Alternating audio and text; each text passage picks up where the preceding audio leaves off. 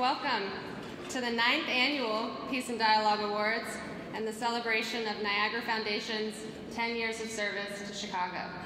My name is Mignon Sanuda, the Director of Communications and Member Relations for the Niagara Foundation. Our MC tonight is James Janega. James is an innovation and insights consultant at Slalom Consulting, as well as a former Tribu- Chicago Tribune reporter who has covered innovation, the Middle East, and the Midwest, and served as the Trib Nation Community Engagement Manager. Please join me in welcoming James and enjoy your evening.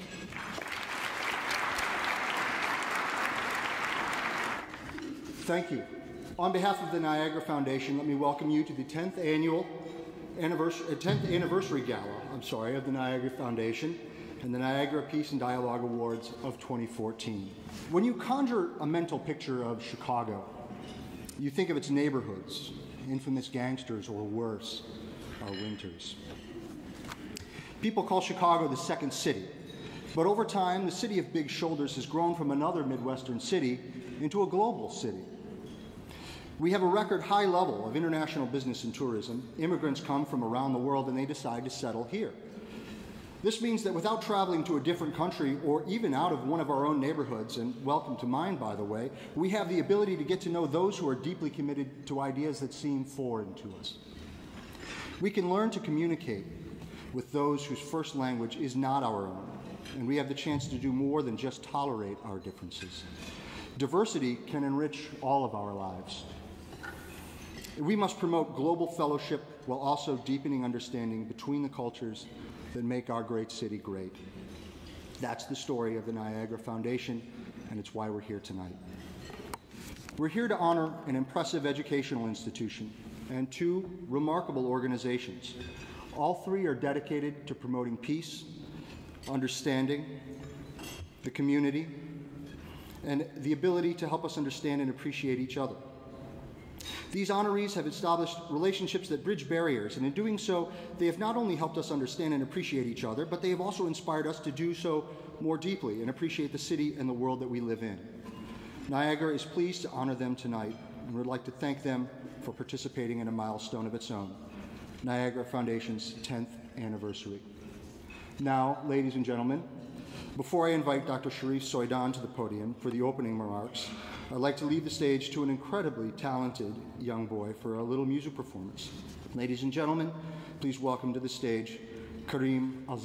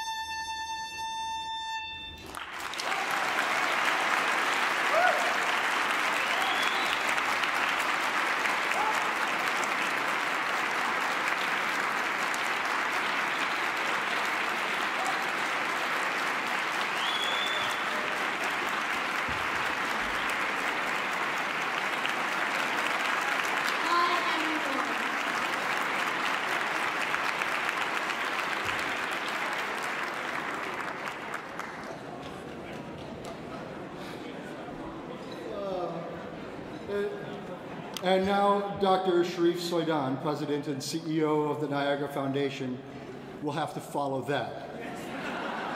Please help me welcome Dr. Soydan to the stage for the opening remarks. Dr. Soydan. Good evening to everyone. Dear friends, it's wonderful to be here with everybody. And thank you, James, for the introduction. What a joy. What a great place. What a great people here. In my hometown, which is Bursa from Turkey, uh, when people ask about uh, historical places, if, if, if, you see a mosque, people say, great mosque. the name of the mosque is great, Ulu Cami. If you see a mountain, you wonder the name of the mountain, and you say, great mountain, Uludağ. So people, people are always great. So as Niagara Foundation, we need to be great to be your friend. Thank you for our being our friend here.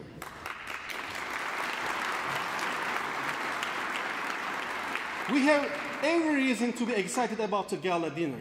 Tonight, we are celebrating a decade of promoting social cohesion by fostering civic conversations and sustained relationships between the people of different faiths and cultures. Thank you for joining us in this special occasion.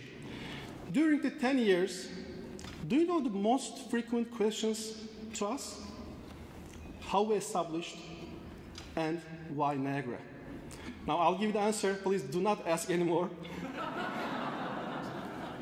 the Niagara Foundation was founded in 2004 by a group of Turkish American businessmen and educators in order to realize the vision of their spiritual leader, a Turkish Muslim scholar, Mr. Fethullah Gulen. The founders of the Niagara Foundation envisioned an institution that could bring together people from all walks of life in order to celebrate diversity in a shared society. They named the organization after Niagara Falls. Of course, we know Niagara Falls is in Buffalo or Canada, but the meaning it carries is important for us. There, two great lakes become more magnificent together than they could be separately. The Niagara Foundation employs the Niagara Falls as a metaphor to underline the importance of the cooperation and understanding among diverse groups of people. We may be separated by ethnicity, religion, race, or color, but we all experience both happiness and sorrow as we are all human beings. When you talk about Niagara in 2004, it's about two men, Kemal, and some of you remember, and Hakan, one computer, one desk in displays. Over the last 10 years, Niagara Foundation has grown from an office in a basement. It's like an Apple story, like Steve Jobs. They grow from the garage, we grow the, from the basement. So, to a 22 branch organization in nine Midwestern city states, 40,000 subscribers to the programs, and hundreds of forums and lectures, the distinguished network of local and global leaders we have accumulated over the years is a testament to the growing need for diverse international perspectives. This anniversary is an excellent opportunity to reflect back on all that Niagara has accomplished over the past 10 years and to make plans for the future of our organization. We are committed to developing a more just society through dialogue, more robust programming, fostering even more partnerships, and nurturing our intimate ties to the community. We believe citizens who share this value are part of the solution for a more peaceful Chicago and a more peaceful world. We believe in creating a truly welcoming and intellectual space and providing everyone a seat in our heart and in our space. I'd like to extend my sincere thanks to all of you. I'm very lucky to be a part of a wonderful team of people, dedicated and hardworking men and women who have dreams, dreams of a peaceful world. As divergent as we are, we can live together in peace and harmony.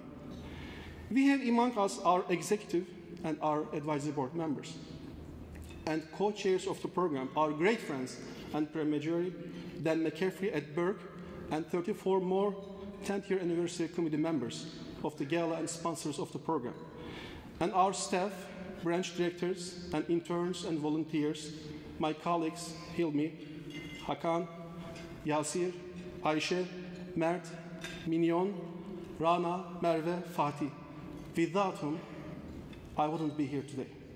Thank you, thank you, thank you. For an, for an absolutely extraordinary job. If you don't mind, I know these are so humble people. Please stand up. Our executive and advisory board members, co chairs, and committee members of the 10th year gala, and sponsors, and our staff and branch directors, please stand up. I cannot thank enough for your gracious work.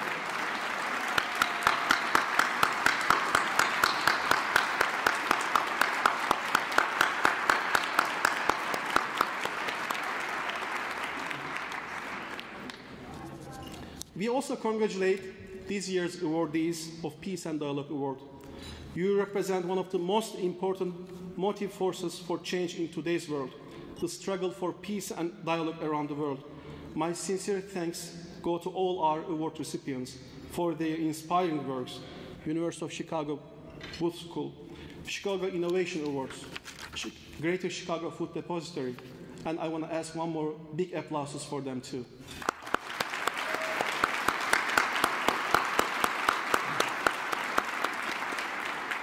So tonight, I just pose a question to you. What does Niagara Foundation mean to you? What do you feel when someone talks about the Niagara? I've collected some of the responses over the years. Interfaith engagement, service or hizmet in Turkish, hospitality, open platform, coexistence, bridge builder, trusted convener of dialogue, mutual understanding, diverse alliances, a thought leader. Here is my response for the Niagara Foundation. I came to Chicago in 2004. I left my country. I left my family. But even one single day, I haven't felt or been treated like a stranger. You know why? Because of you. Scott, Marcia, Paul, Bob, Dirk, Azam, Michael, John, Anne, Ahmed, Dan, Ed, and others, you became my brothers and sisters. Thank you so much. I always consider the Niagara Foundation as the Niagara family. To me, Niagara is about the people. Thanks to all of your support and becoming a part of the Niagara family. I'm honored to stand here for you, with you, to look forward to the future that we must reach together. Thank you and have the most enjoyable night.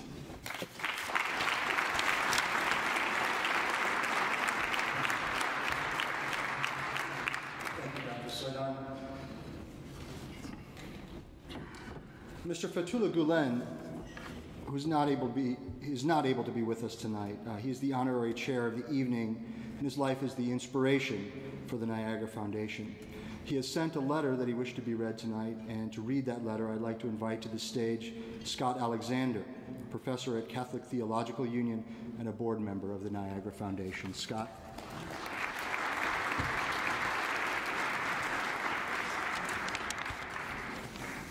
Good evening, everybody. I have the great honor of reading this letter from Fethullah Gulen. Before I do, I just wanted to make a remark about the incredible energy that comes from his teaching and that's manifest in what we're doing here this evening. Um, the beautiful performance we heard by our violinist, our superb violinist Kareem, and the achievements of the honorees whom we are honoring this evening are examples of what can happen when the potential, the God given potential, uh, in each human being is unlocked and released a potential that can transform the individual lives of those people, but touches and enriches the lives of so many more. Fethullah Gulen is a man, a great spiritual leader, who realizes that there's a seamless connection between one's devotion to prayer, fasting, almsgiving, and the service to others that enables each and every one of us in interconnectedness and interdependence to have our human potential unleashed and unleashed on the world for transformation. For Fethullah Gulen, this is hizmet, this is service, and this is the way that human beings are called to give glory to God. And it's because of these teachings of His and their manifestation in what we're doing tonight in the way they have touched my life that I am so deeply honored to stand before you and read His words. Dear members of the organizing committee, scholars, community leaders, ladies and gentlemen, you have gathered here to celebrate the dedication and exemplary achievements of individuals and organizations who have demonstrated strong commitment to serving their communities.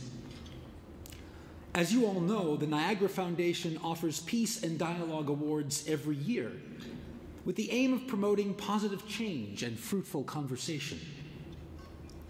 In my understanding, one of the purposes of these awards is to offer our gratitude to God for sending us such heroes. Another purpose is to encourage others to follow the example of lives committed to serving humanity. I believe one can talk about two types of people in the world conformists and non conformists. By conformists, I mean those people who suffice with adapting themselves to the existing norms and conventions of their societies. Nonconformists, on the other hand, try to adapt the societies to perennial values and to beneficial new developments. Their innate thirst for breaking new ground can only be satiated by moving humanity one step further. Therefore, one might be allowed to argue much of a society's progress is due to these nonconformists. They can be scientists who harvest knowledge and grow science so as to enrich all human life. They can be progressive people who seek out new narratives and ways to strengthen the future of their immediate environments. Or they may be caring hearts who take the initiative in nurturing the minds, souls, and bodies of those who are in need. I applaud these nonconformists and thank God for having them among us. Sunil Kumar, Dean of the Booth School of Business at the University of Chicago. Tom Kuczmarski, founder and co chair of the Chicago Innovation Awards. Kate Maehr, Executive Director and CEO of the Greater Chicago Food Depository.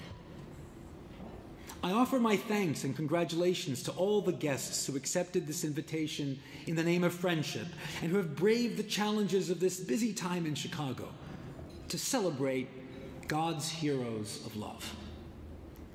One final word needs to be said about this auspicious occasion of the 10th anniversary of the establishment of the Niagara Foundation. I would like to offer my sincerest congratulations and heartfelt wishes to the Niagara family for all their hard work on the path of dialogue and respect. Their uncompromising dedication, unyielding optimism, and admirable deeds of volunteer work since their inception have helped cement a spirit of friendship and understanding within Chicago and beyond. Their work has proved that it is only with such unquenchable enthusiasm that we can create bulwarks against hatred and start healing our deep seated wounds.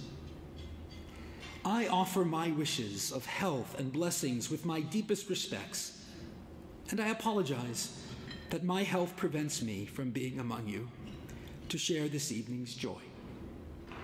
Rest assured that I will be there in thought and spirit, inshallah, God willing. M. Fethullah Gulen.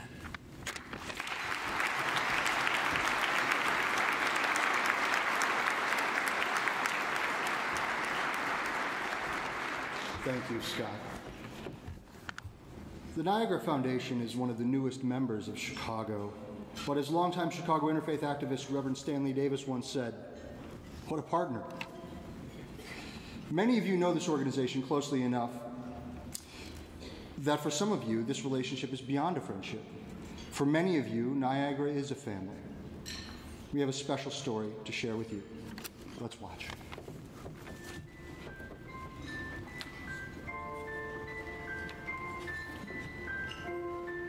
The idea for the Niagara Foundation first surfaced in 2002 from a handful of Turkish American businessmen, educators, and community leaders. Founders were guided by the ideals of Fethullah Gulen for creating a more cohesive society through dialogue and sustained relations between people of different cultures and faiths. Two years later, 2004, they brought in two young idealistic Turkish guys, Kamal, a former teacher of English from Turkmenistan, and Hakan, a flamenco guitarist from Istanbul, to implement the vision. Operating out of the basement of a house in Des Plaines, a couple of desks, a computer, a landline phone, and a fax machine. Kamal and Hakan admitted to having an inkling of what to do, but as for how to do it, they didn't have a clue. On the advice of one of the businessmen, they went to the nearest church where the Methodist minister was hesitant at first about their idea to hold a dinner in a spirit of tolerance, dialogue, and love. On their second visit, he reluctantly said yes. A handful of overexcited young Turkish families brought homemade food to share with wary church members, most over the age of 65. This quickly became the template for the work of the Niagara Foundation. Approach other churches and synagogues in the area. Hold as many dinners as possible. Become friends with your neighbors.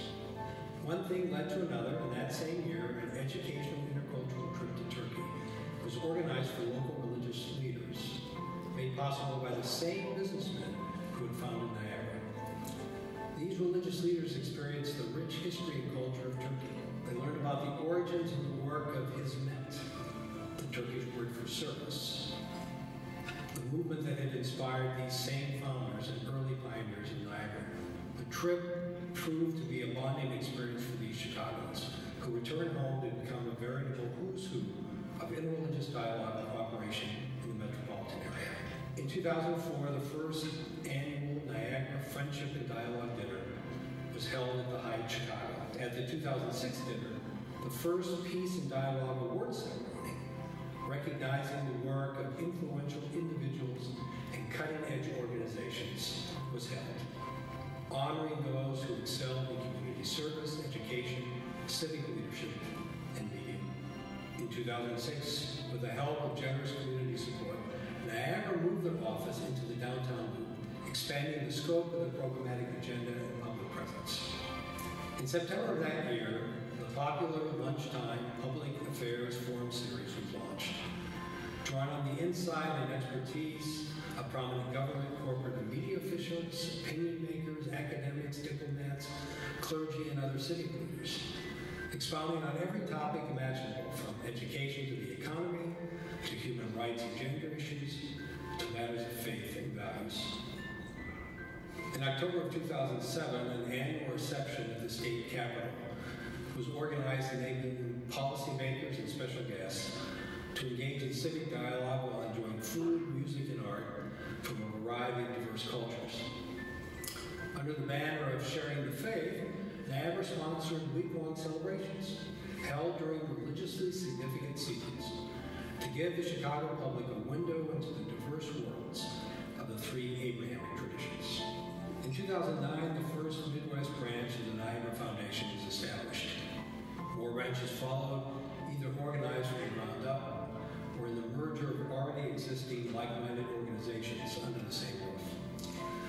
Niagara now supports branches in 22 cities, located in Illinois, Indiana, Iowa, Michigan, Minnesota, Missouri, Nebraska, Ohio, and Wisconsin. In 2012, the Niagara Foundation created three distinct centers that continue to exemplify all the ways in which the organization reaches out to unique communities through hospitality, educational enrichment, and networking. The Center for Public and Global Affairs engages public officials as well as civic and business leaders active in the community in public discourse and partnership. The Center for Cultural Exchange and Interfaith Collaboration hosts interfaith gatherings and intercultural trips to